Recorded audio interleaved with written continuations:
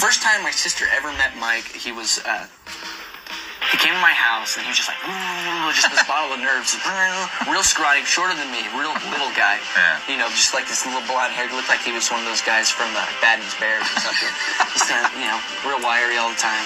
And he uh, he comes to my house and then like my, my it's like, oh mom, mom, this is Mike, Lord, this is Mike, Mike, and he, uh, my sister, um, like I was just standing there in the kitchen for some reason, and then Mike comes screaming, running as fast as he can through the kitchen, and my sister was like had a knife, like coming after him like this. I could, I was like, this is the first day we met, you know. You gotta be in the band with this guy.